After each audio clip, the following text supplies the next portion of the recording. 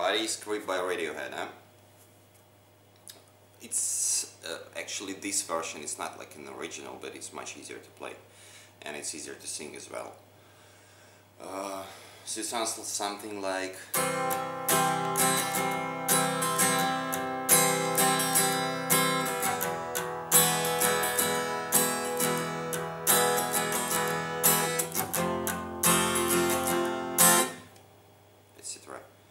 So it's gonna be only four chords and the same strumming for the whole song. And we're starting with the C chord. So actually, as long as it's a lesson for the beginners, I'm gonna show you all the chords. Uh, B string, first finger on uh, first fret.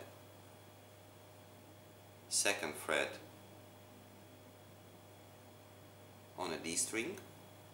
Third fret on a A string. That's three fingers, yeah. We're not using pinky, that's the C chord.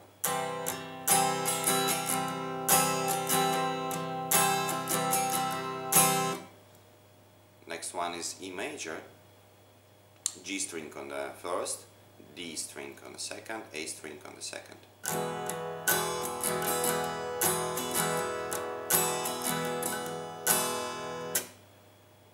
I'll pre it up the next one, it's a bar chord.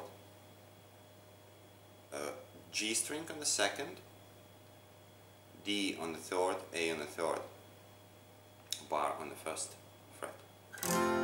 F major chord.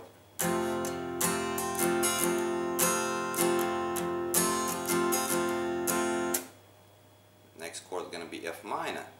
So for that we're gonna lift up middle finger. You can put it on top of the first finger to make more pressure.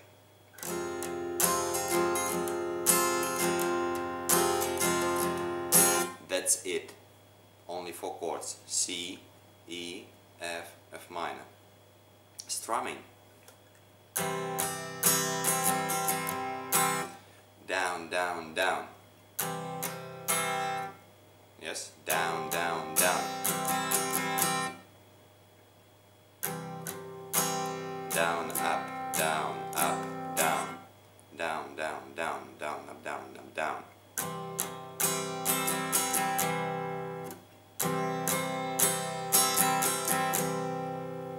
Down.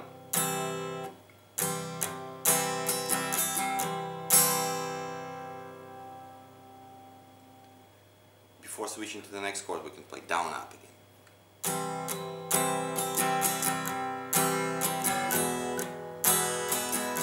Oh, sorry, sorry. Every chord, play, uh, you gotta play every chord twice with this strumming.